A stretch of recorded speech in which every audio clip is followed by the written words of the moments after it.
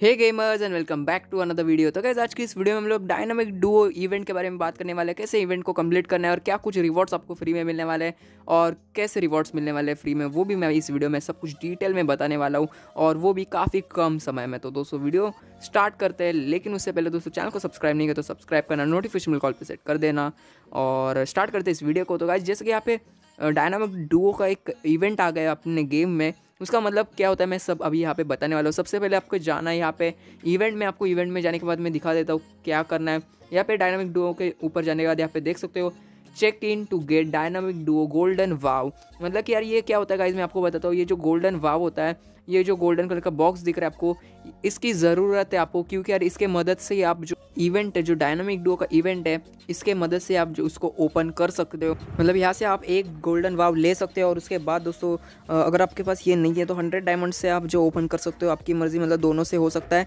लेकिन ये फ्री में आपको मिलने वाला है लॉगिन के बेसिस पे तो गोल्डन वाव से ओपन करना। तो दोस्तों, ये कुछ इवेंट इस तरीके से देखने वाले आपको become birdies with a friend यहाँ पे देखने को मिल रहा है आपको।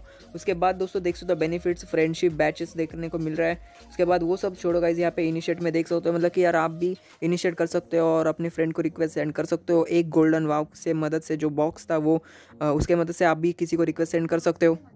तो यहाँ पे ऐसा लिखा हुआ आ रहा है गाइस कि अगर आप किसी फ्रेंड को रिक्वेस्ट सेंड करते हो, एक गोल्डन वाव से, और उसके बाद उसने अगर रिक्वेस्ट एक्सेप्ट नहीं की तो ऑटोमेटिकली आपके गोल्डन वाव को जो है, फिर से अपने अकाउंट में डाल देंगे, और आपका ऐसे, इस तरीके से जो गोल्डन वाव है, वो बिल्कुल भी वेस्ट नहीं जाएगा। मतलब एक गोल्डन वाव आपका फिर से आपके अकाउंट में आ जाएगा। अगर आप, आपका जो दोस्त है, वो रिक्वेस्ट एक्सेप्ट नहीं करता अगर रिक्वेस्ट एक्सेप्ट करता है तो आपको नहीं मिलेगा, वो तो जाएगा ही फिर एक गोल्डन वाव और उसके बाद दोस्तों आप डायनामिक डो बन जाओगे। और जैसे जैसे यार आप वीकली बेसिस पे जो कंप्लीट करते हो, ये जो इवेंट है डायनामिक डुओ का। उसके बाद दोस्तों जो हंड्रेड, जो टोकन से बैचेस है गोल्डन हार्ट्स जो भी है, वो कंप्लीट करते हो गाइस तो फिर मैं बोलता हूँ कि क्लैश स्क्वाड खेलो। ऐसा नहीं कि क्लैश स्क्वाड ही खेल सकते हो, लेकिन मैं आपको बता रहा हूँ एक ट्रिक की कैसे जल्दी जल्दी से जल्दी कंप्लीट करना है। क्लैश स्क्वाड खेल सकते हो आपने सी एस रैंक खेल सकते हो। सी एस रैंक में ज़्यादा टाइम लगेगा। रैंक मैच खेलना मतलब कि ज़्यादा मत कोशिश करना ज़्यादा से ज़्यादा क्लैश स्क्वाड ही खेलना। उससे क्या होगा गाइस कि मतलब कि जल्दी जल्दी मैच भी खत्म होंगे, और उसके बाद दोस्तों आपको जो डायनामिक डो है,